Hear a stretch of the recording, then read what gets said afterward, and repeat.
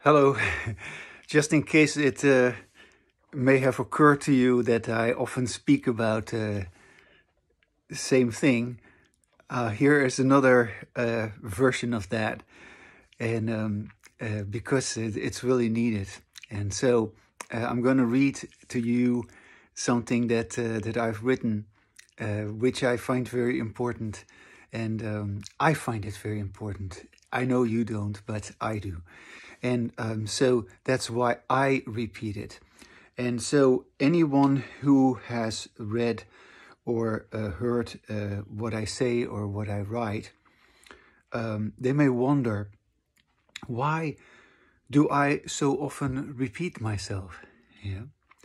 And um, if what I say is true, if language, as I say, doesn't exist inside of us, why do I keep saying that? Why, why don't I just get on with it? Why do I keep repeating the importance of recognizing that there is no, there are no words inside of me? Well, that's what this writing is all about. And perhaps I have already said it, but it doesn't matter. I am addressing the conditioning history of disembodied language, which has burdened all of mankind with the falsehood that we can think and that we have thoughts. You see, that falsehood is based on the notion that there are words, sentences, that there is language inside of us, and there is no such thing.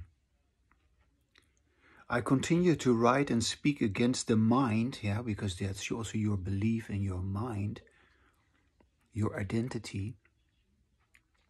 Because it is only when we speak or when we write, that is, it is only when we use our language as it is supposed to be used, namely overtly, yeah, it's only when we use our language overtly that we can get clear about things.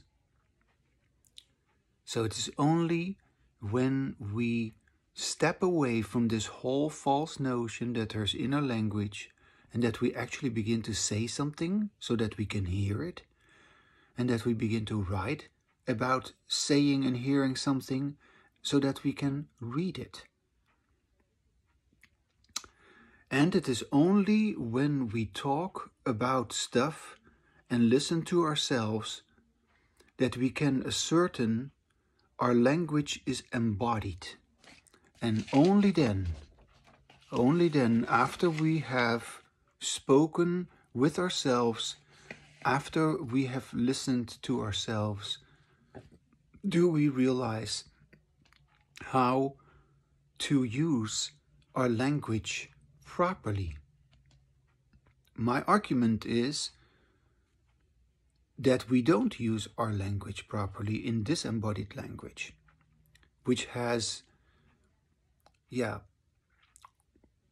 which has undermined us with this whole notion of inner language.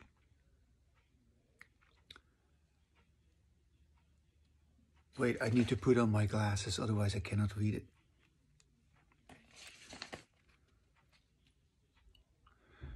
Can we write about our... Oh yeah, oh yeah, so it's only when we have spoken with ourselves and when we listen to ourselves that we can also write about our embodied language, in which there is no longer any inner conversation going on in our head. Yeah, so when you listen to yourself, when you speak out loud with yourself, you will notice there is no thought you are blank. And that is beautiful because that is your natural way of being. You're just empty.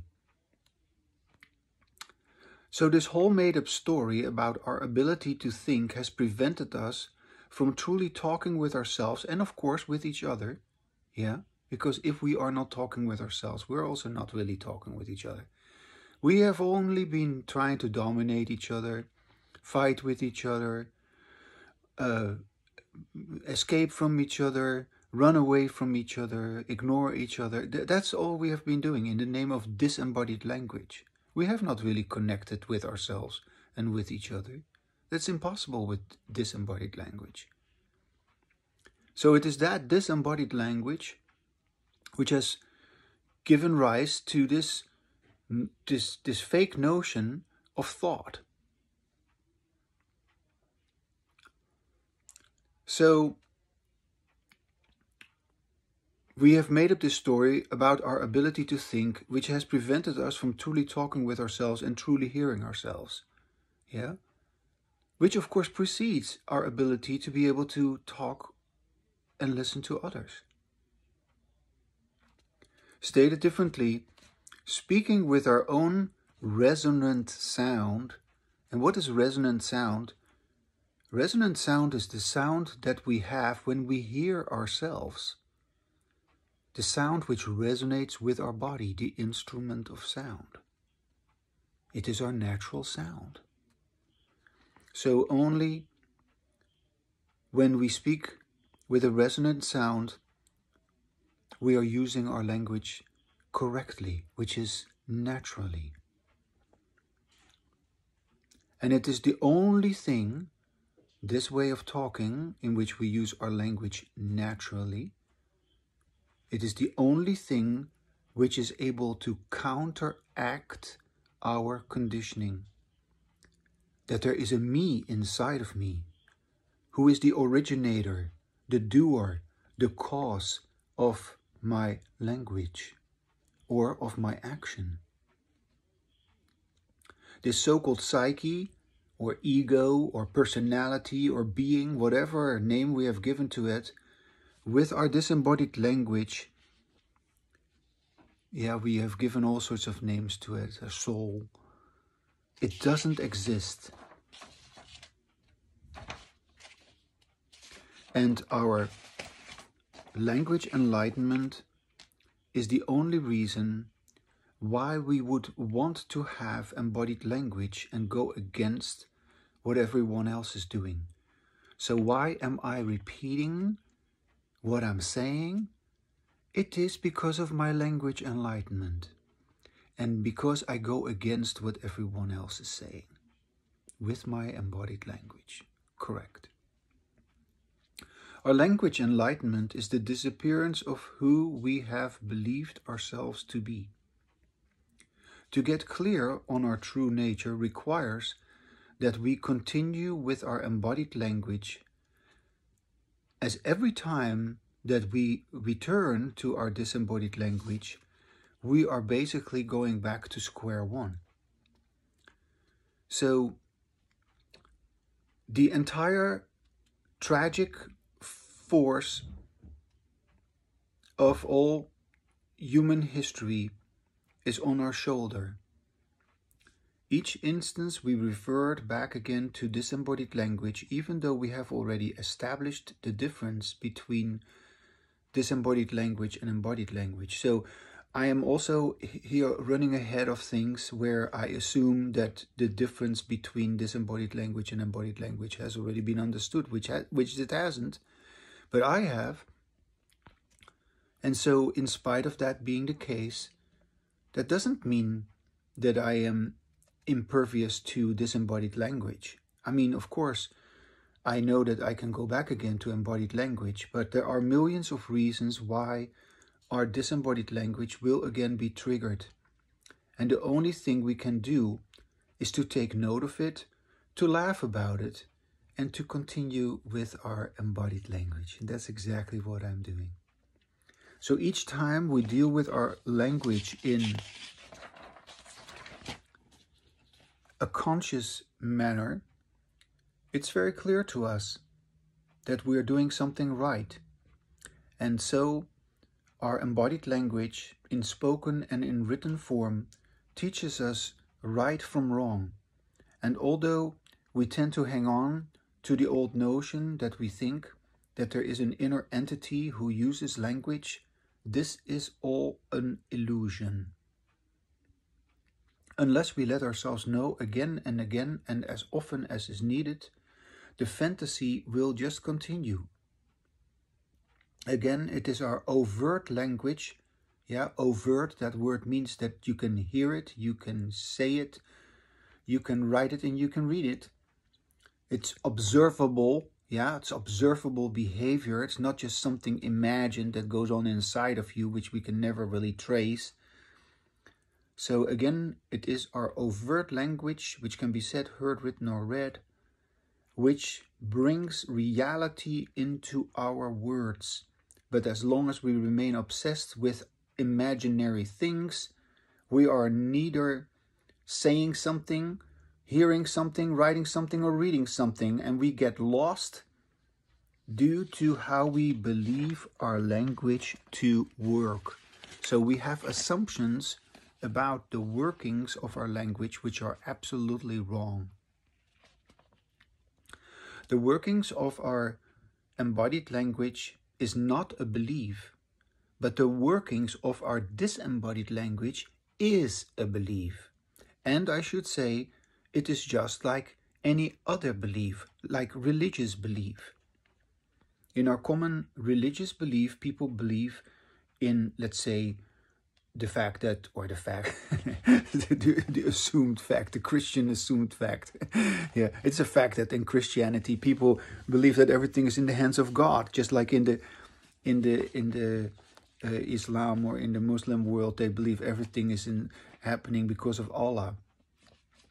However, um, this so-called ref this reference to a higher power, there's also at the same time people do not realize this, but there's also an inner deity, yeah, which is who we are ourselves privately and who we believe to be ourself, our identity, which of course is our entire history of conditioning. Yeah. Even when people give up on their religion, yeah, the atheist, then their belief in their so, so-called true self, it even gets stronger. So they get even more hung up on who they supposedly are. So you see this very strongly here in the United States, where individual freedom has taken such a big, uh, yeah, you could say, uh, step forward in, in terms of human history. Individuals have got individual rights, and so everybody's basically going nuts in the name of individualism and and and society is basically falling apart because of that. yeah, and we're not supposed to talk about it, no, because it is everybody's right to act stupid.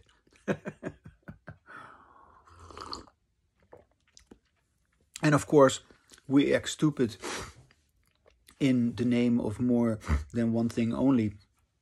We act stupid in the name of uh, of politics, of religion, uh, of also culture, but we also act stupid in the name of what has been written.